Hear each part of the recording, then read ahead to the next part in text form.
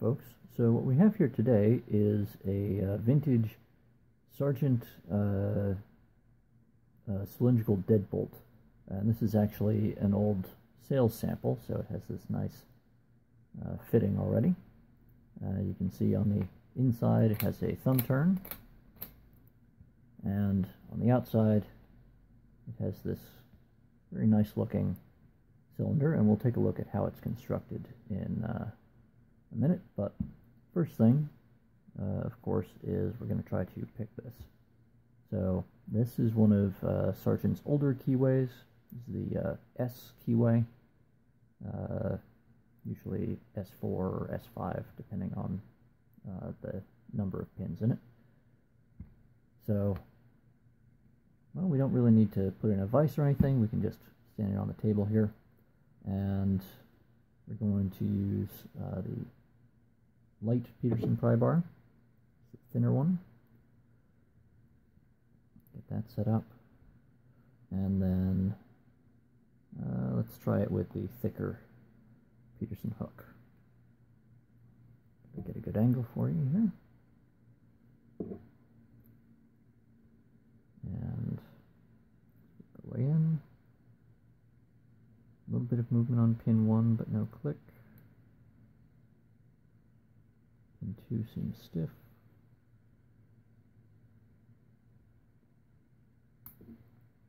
Okay, that was number 3 or number 4.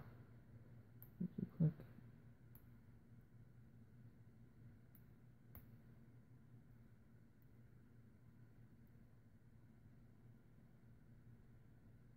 moving around things seem very tight here and it might be that this pick is thick enough that it's getting hung up on the warding. So we're going to switch to the 18 thousandths pick and see if we have any more luck. So one is still a little bit soft, two gives us a little bit of a click, three gives us a click now, four gives us a nice hard click, uh, five, a little bit of a click there. And we are getting a little bit of a false set. So let's try going back to pin one. And I think we've got it, even though we lost tension. But it is staying in that position.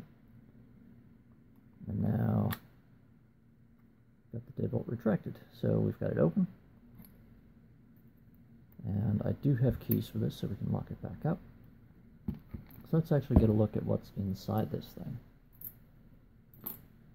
First thing to do is in the unlock position, uh, you'll see there are these two flathead screws. So we'll get our screwdriver out.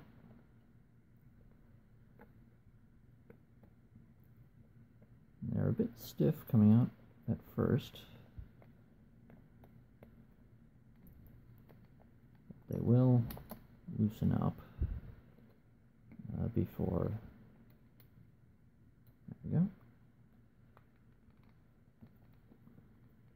I notice that I have to hold this uh, together because as I loosen these two screws it actually would push the cylinder out the front of the mount. So there we have it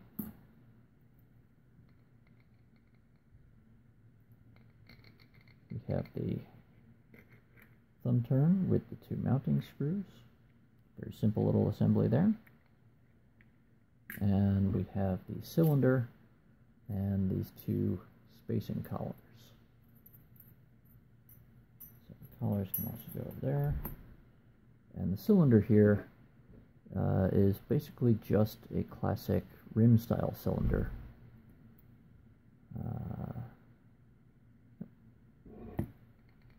And then inside we have a fairly simple uh, bolt mechanism.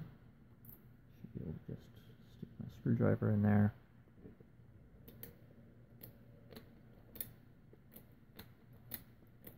And that's all it is. About a quarter turn, all that's needed to uh, expand and retract the bolts. So, see if we can get in here this guy has, on, focus for me. This guy has this very small Phillips head screw. Uh, hopefully I have a very small Phillips head screwdriver on hand. Let's see if this guy is small enough. Just barely.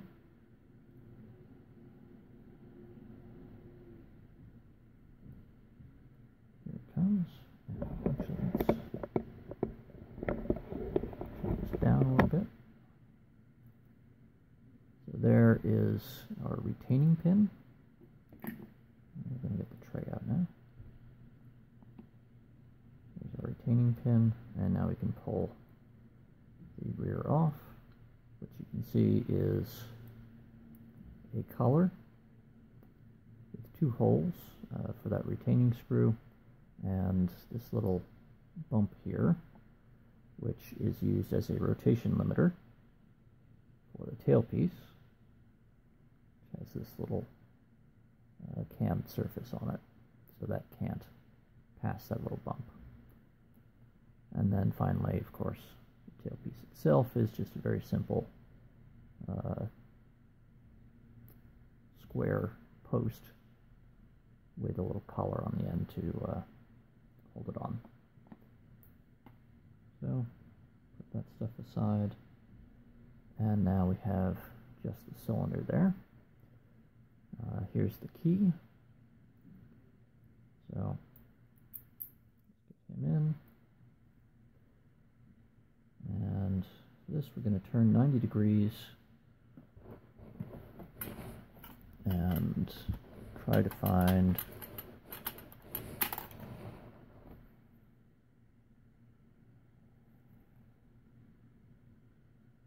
Go.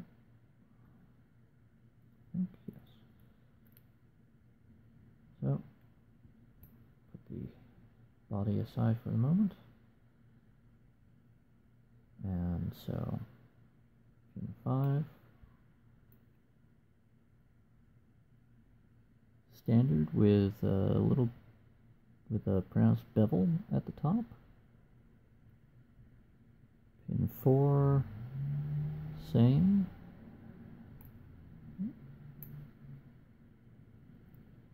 Pin 3 seems to be the same.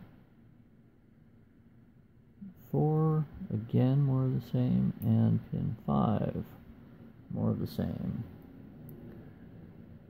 And there's no obvious uh, chamfering or anything, uh, very smooth edges to all that. And now let's see what's in the body.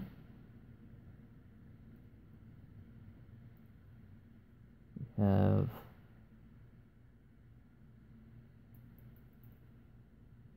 a standard pin with slight bevel on each end. And the same again.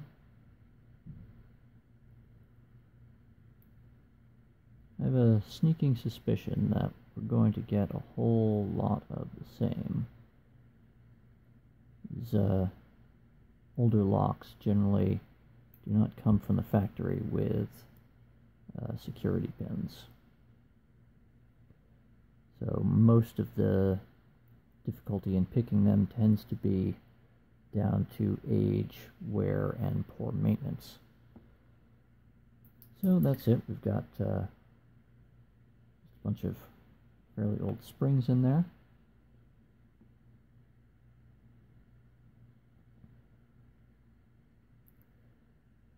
And there's what is inside. Five standard key pins with a beveled top and uh, rounded tips and five standard uh, driver pins. But it does look nice, doesn't it? Even though uh, this is only about a half inch throw, and uh, modern standards, that is considered far too short for a, a decent um, deadbolt. Really, a three quarter inch throw is generally what's desired now. Anyway, until next time, have fun and happy picking.